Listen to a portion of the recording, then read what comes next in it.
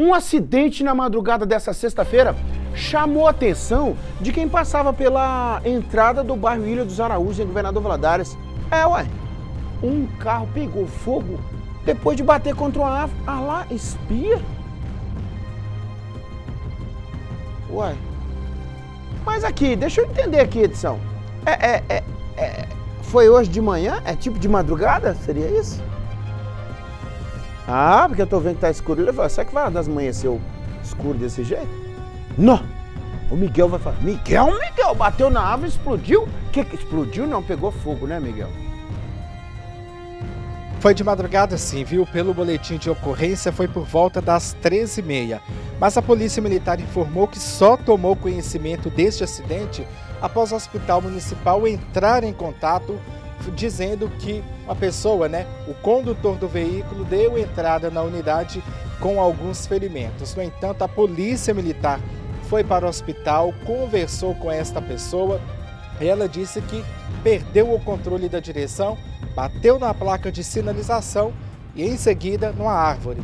Depois o carro pegou fogo. Pois bem, a polícia continuou com os trabalhos, os militares do Corpo de Bombeiros foram acionados, combateram o incêndio.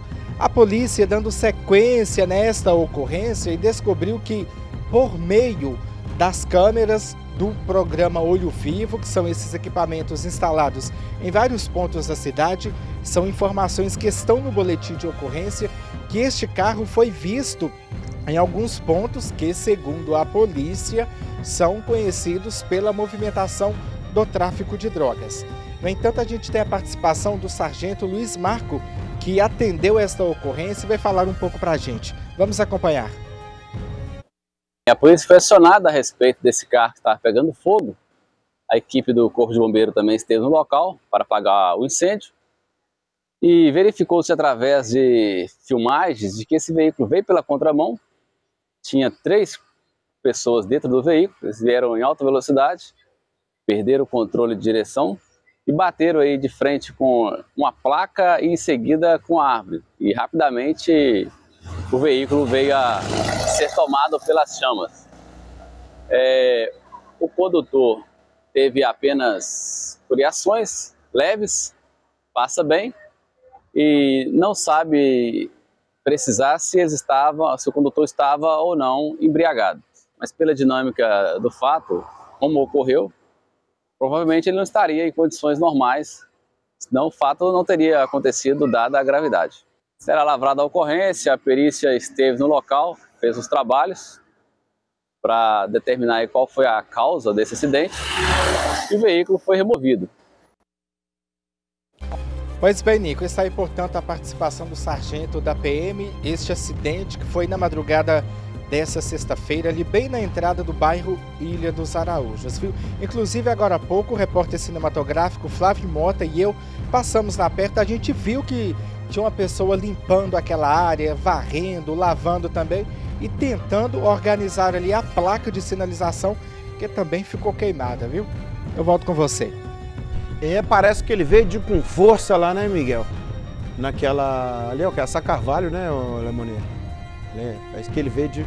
É, parece que veio de com força lá, né? É. Ê, Bebiano. Olha lá, Bebiano, a pancada.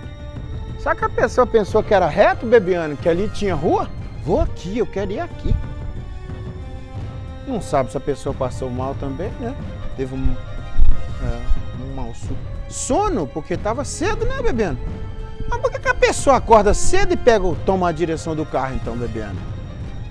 Você é muito inocente, Bebiano. E se eu te falar que isso aí pode ser gente que nem dormiu, já atravessou a noite? É, é, é. Tentou atravessar a árvore também, né, Bebiano? A placa, ela atravessou a noite, tentou atravessar.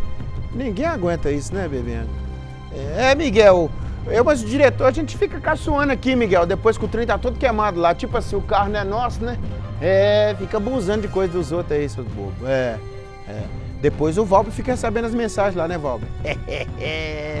Ô, Miguel, um abraço, meu filho. Tá tudo resolvido, só prejuízo material. É, isso que importa. É.